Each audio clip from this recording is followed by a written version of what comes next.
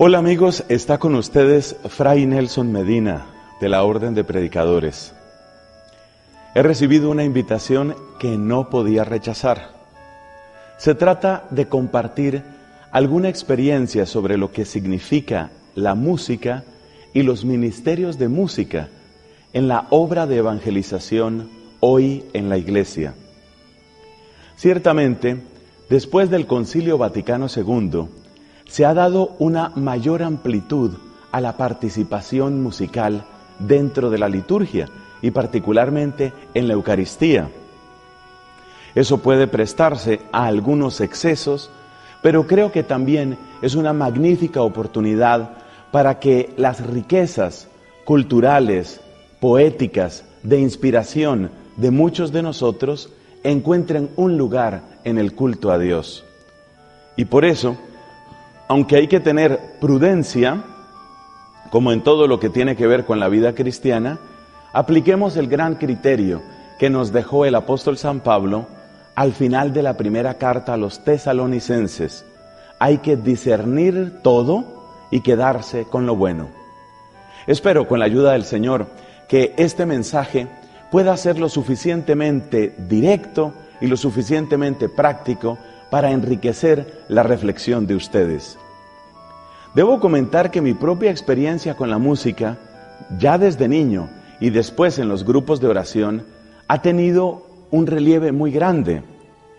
Efectivamente, dentro de la renovación carismática, la música llega a convertirse en todo un vehículo, no solo un vehículo de transmisión de ideas, sino un vehículo que ayuda a crear las disposiciones, la apertura de corazón. De hecho, si miramos en nuestra época, la música indudablemente es una de las armas más poderosas para llegar al corazón de millones de personas. Las grandes multitudes que pueden congregarse en nuestro tiempo son debidas sobre todo a la religión, al deporte y a la música. Y de esos tres, me atrevo a pensar que compiten entre sí, pero a veces parece que quien tiene un mayor impacto en cambiar la conducta de la gente o en llevarla a cosas incluso histéricas y exageradas es la misma música. Esto tiene una raíz muy profunda en el ser humano. Nuestra vida misma está marcada por la música.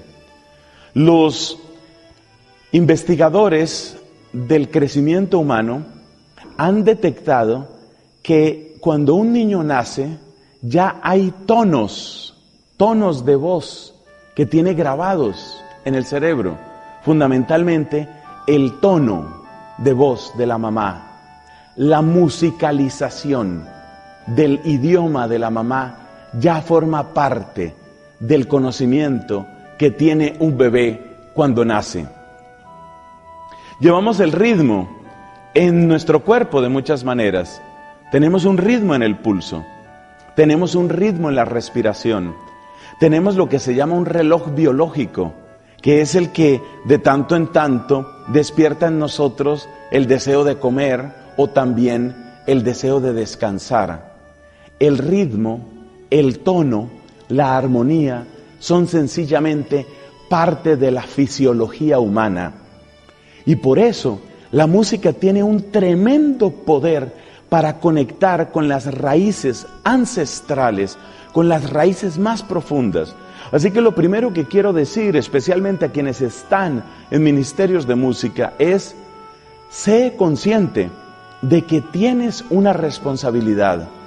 Y la tienes porque con tu música potencialmente puedes llegar a áreas a lugares de los corazones a donde no llegan muchas veces las mismas palabras. El ministerio de música entonces no debe verse como un adorno, La música no es un simple adorno, la música es un instrumento, un instrumento poderoso que puede confirmar una palabra de evangelización o que puede diluir esa palabra o que puede incluso contradecirla.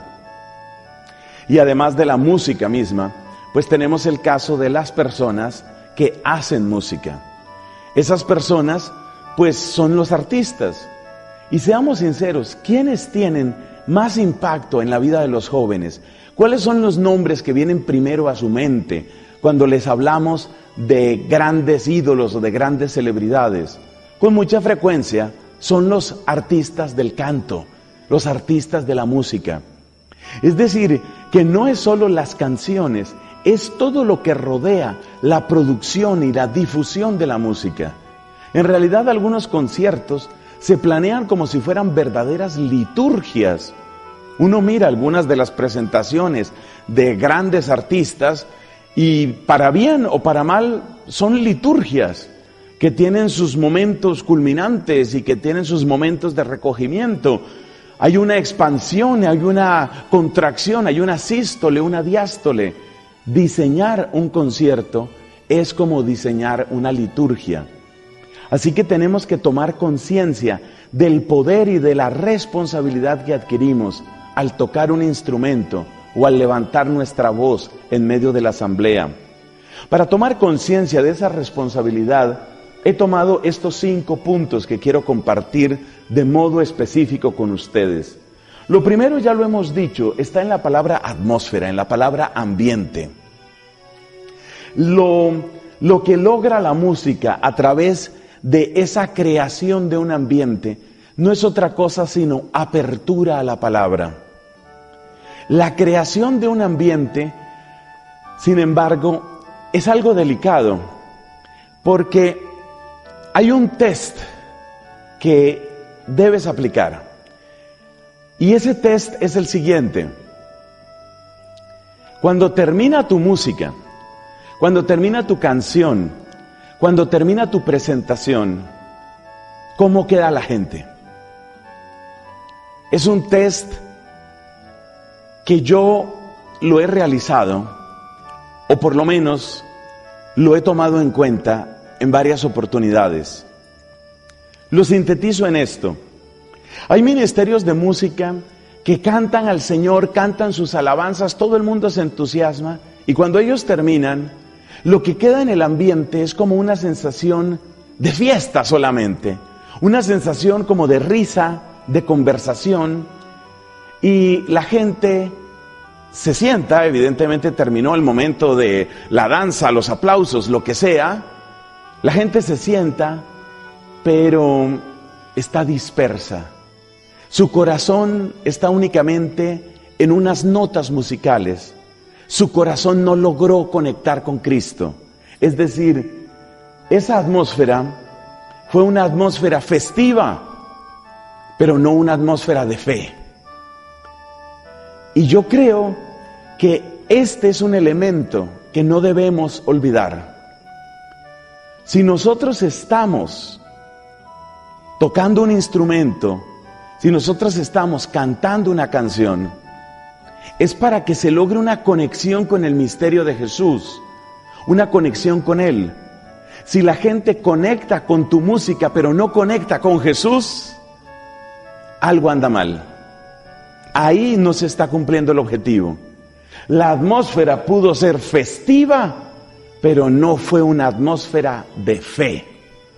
Y a lo que estamos llamados es a despertar, alimentar, confirmar, sanar incluso la fe. Ese es un primer punto a tener en cuenta. Qué importante crear una atmósfera, pero cuidado con lo que haces. Si al final la gente queda dispersa, conversando, riéndose, tu atmósfera fue de fiesta, pero solo fiesta. Fiesta para el mundo, no fiesta para Dios. No puede ser solo atmósfera festiva, tiene que ser un ambiente y una atmósfera de fe. Segundo punto. La palabra armonía es muy querida por todos los músicos. Si algo atrae nuestros sentidos en una verdadera interpretación es que hay armonía. Lo esencial en la mayor parte de las canciones que conocemos es que hay una línea melódica y hay un acompañamiento. Y a ese acompañamiento se le suele llamar precisamente armonía. Los verdaderos músicos saben encontrar aquellos tonos, aquellas armonías que van acompañando la línea melódica principal, pero que a la vez como que despiertan otros ecos. Los que tenemos un conocimiento apenas inicial en la música, cuando estamos buscando ese acompañamiento, no nos salimos de los tonos básicos. Un verdadero músico sabe ir un poco más allá y sabe despertar a través de esas armonías un poco diferentes, quizás incluso exóticas, sabe inspirar. La armonía es también la que despierta el deseo de cantar, porque podemos decir que la melodía es como el solista, mientras que la armonía es como el coro, es como el grupo.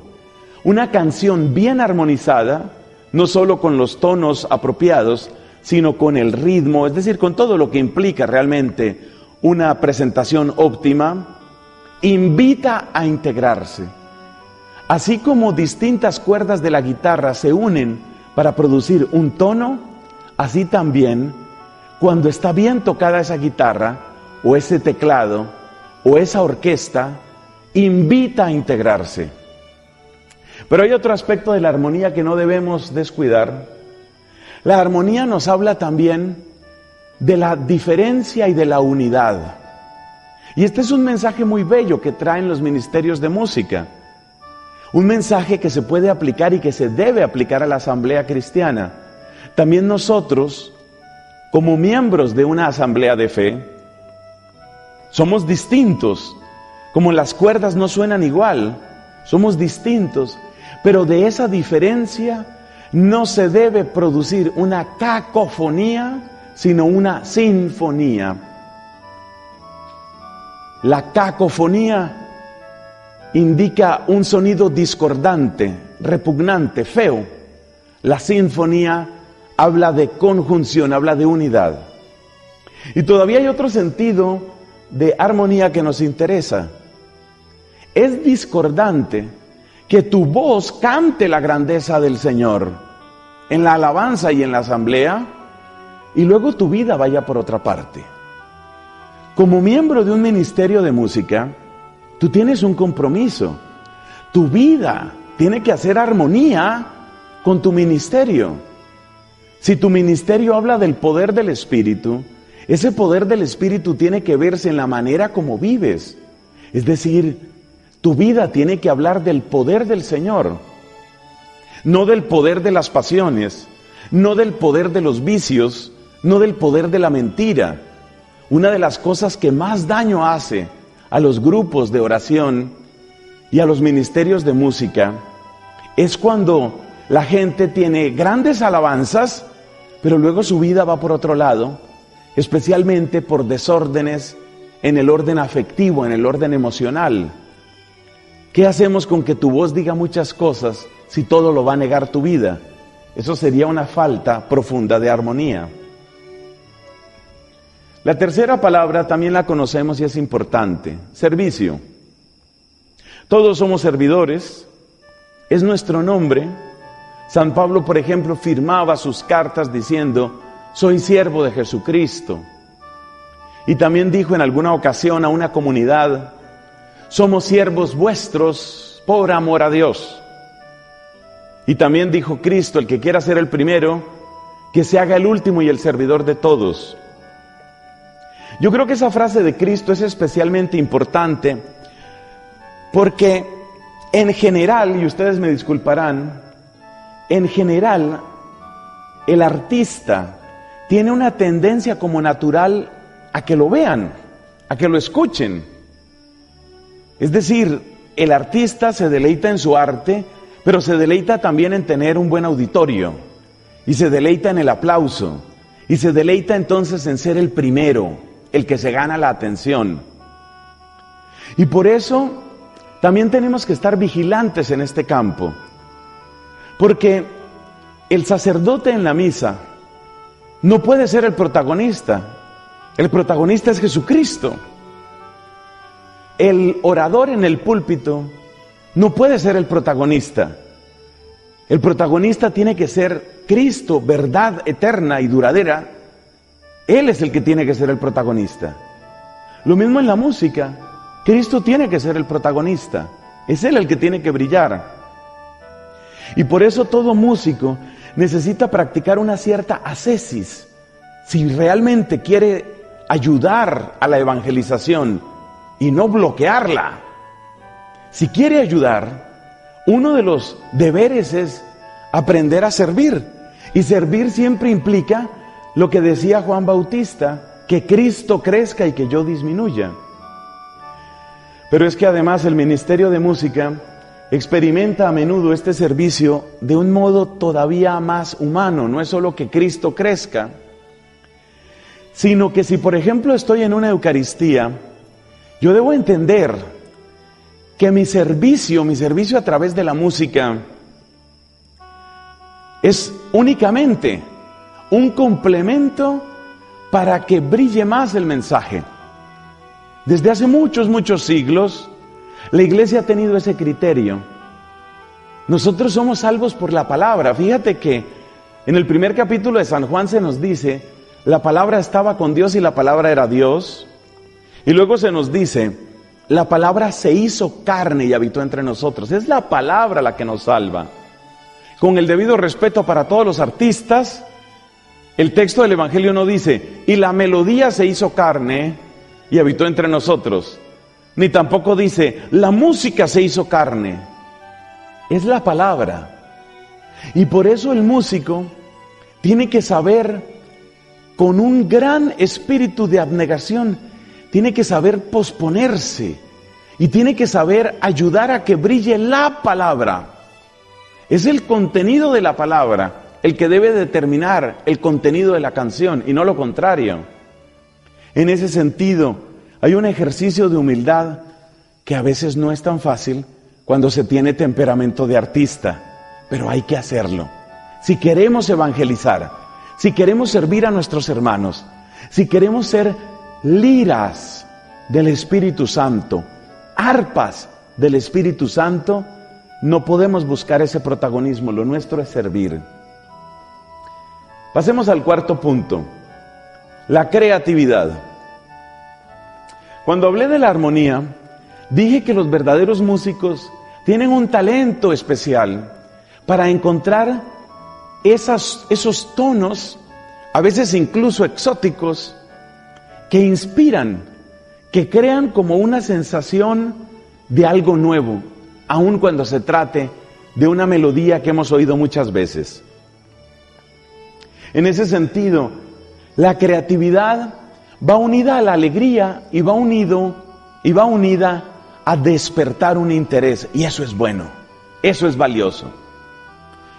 Pero en esto también hay que tener cuidado.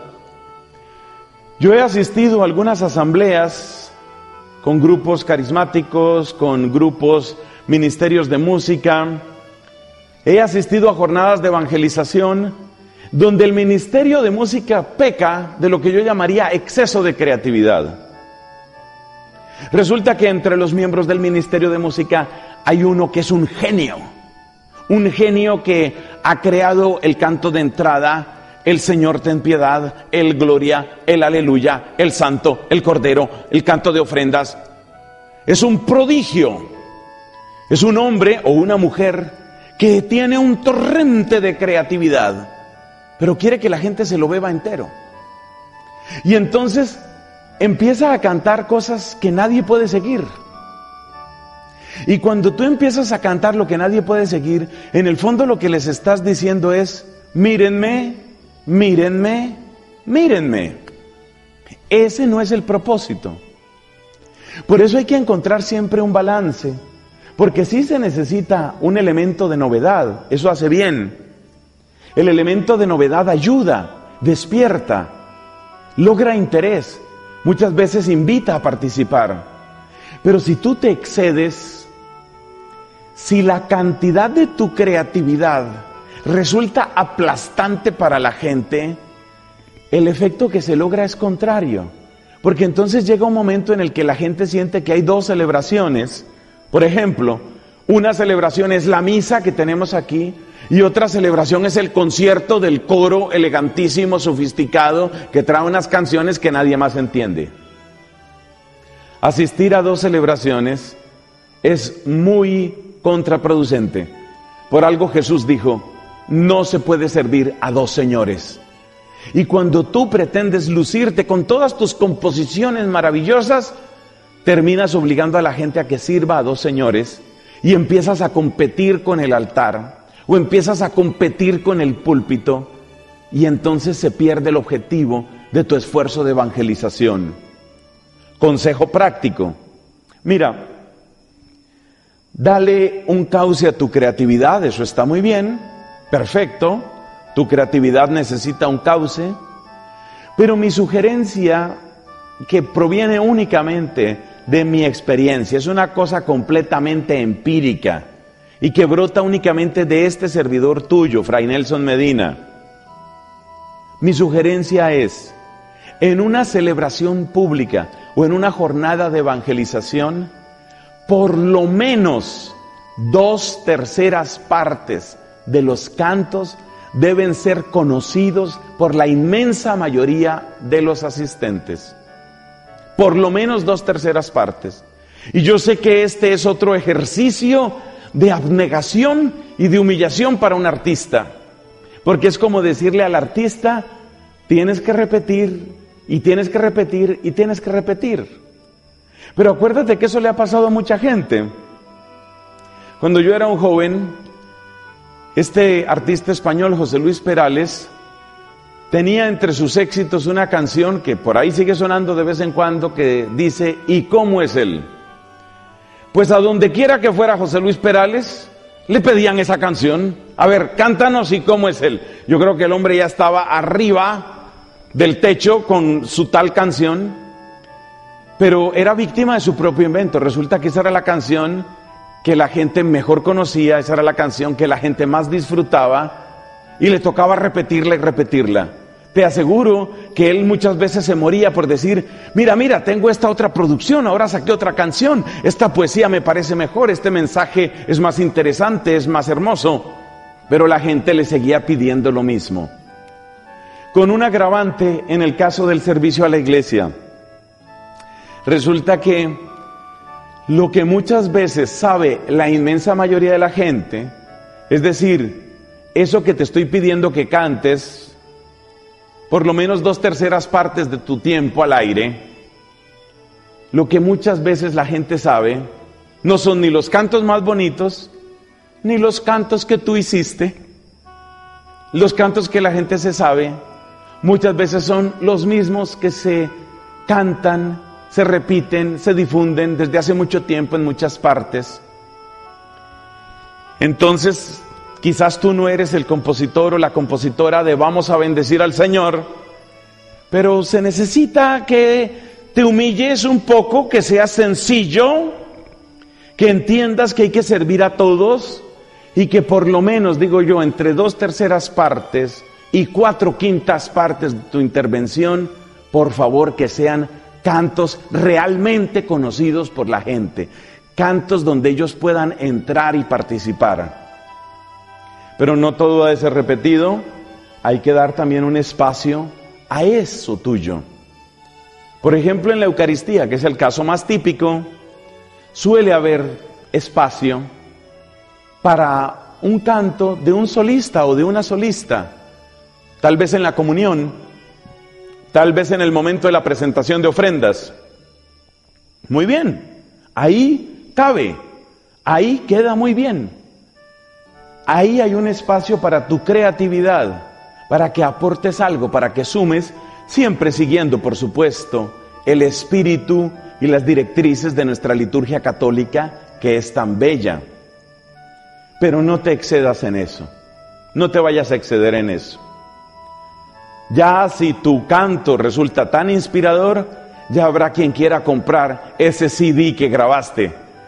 Pero no se lo impongas, No pretendas hacer de la Eucaristía una plataforma publicitaria para tu último CD. No pretendas hacer del Congreso de Evangelización tu plataforma para vender. Eso no es ético. En ese momento, en la jornada de evangelización, lo que interesa es que brille el poder y el amor de Dios. Eso es lo que interesa. Ya que uno o dos cantos tuyos atraigan la atención de algunos, bendito sea Dios y que siga dándote más bendición y más carisma. Nuestro último punto está representado por este símbolo que se utiliza muchas veces para referirse a la iglesia. ¿Cómo está tu sentido de pertenencia a la iglesia?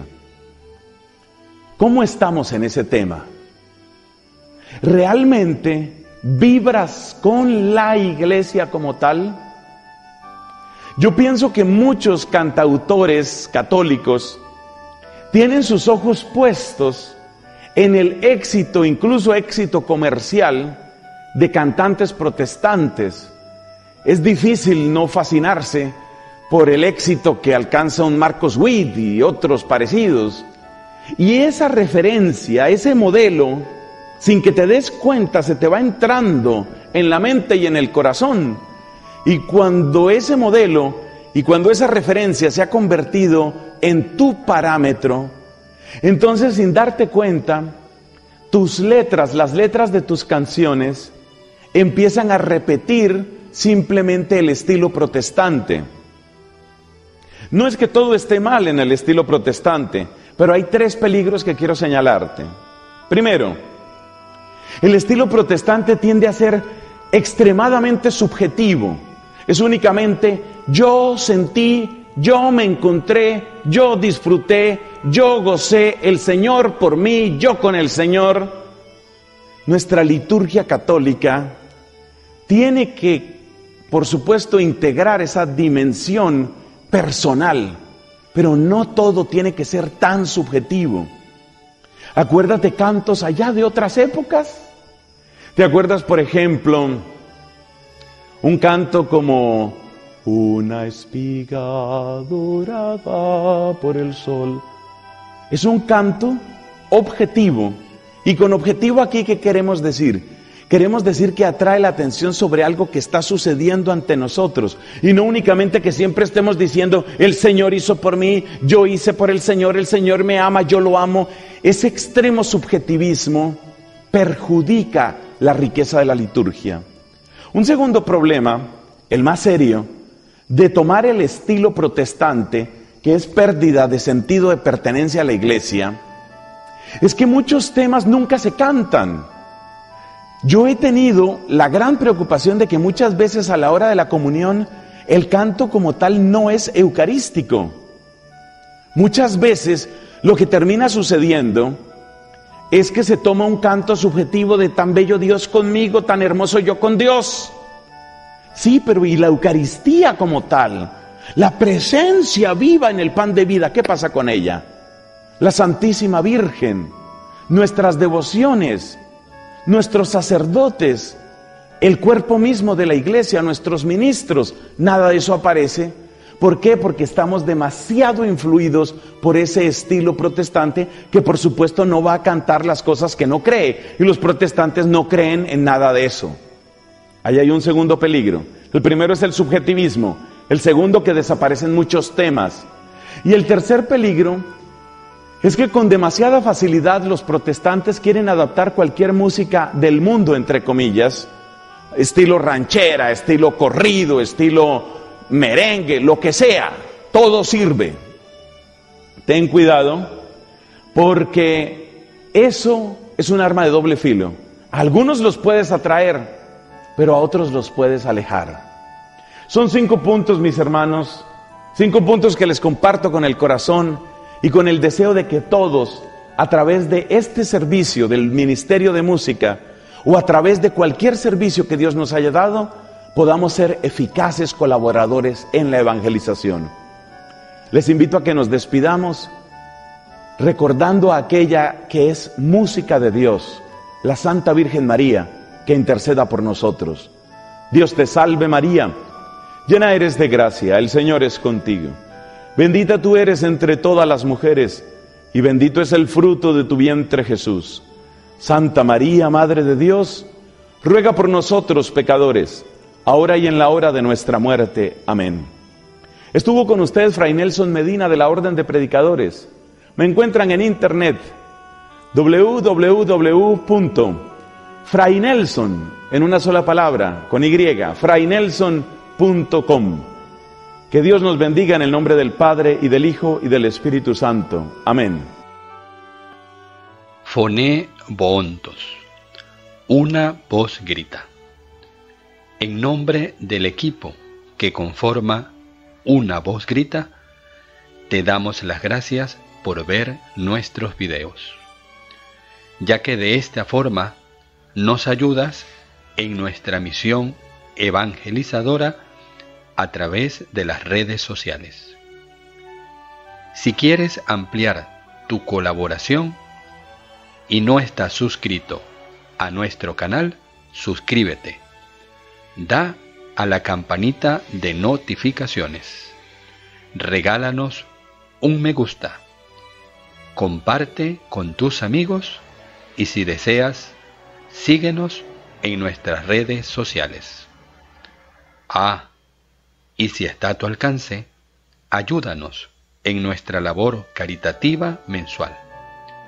Puedes hacerlo a través de PayPal por el correo una